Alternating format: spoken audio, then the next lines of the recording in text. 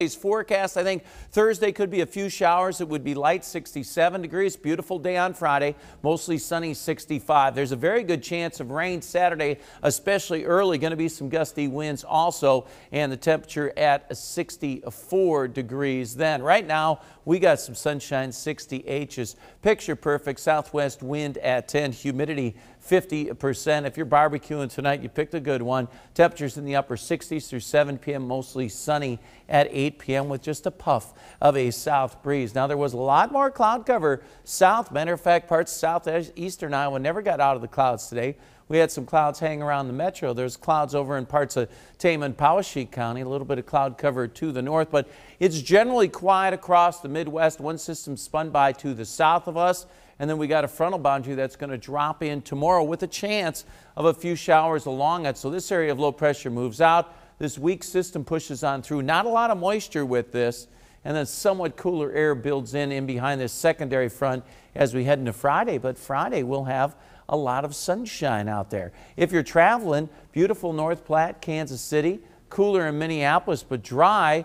We'll have our chance showers here and a few showers in St. Louis. Detroit 64 degrees. So temperatures around the Midwest is just around normal for this time of year. Here comes the showers. They start in the morning hour northwestern Iowa. There's your timeline.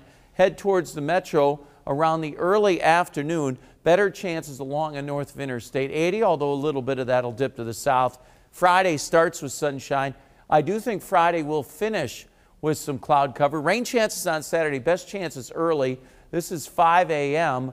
and then it moves on out, although it may hang around till around noon. What you're seeing here is maybe some wet snow aloft that will melt before it gets down to the ground, but that's how cold the system will be. Rain tracker, this is for the first system. You can see very light metro, probably less than a tenth, a little more than a tenth in Ames, although parts of northwestern Iowa could squeeze out some rain with this system.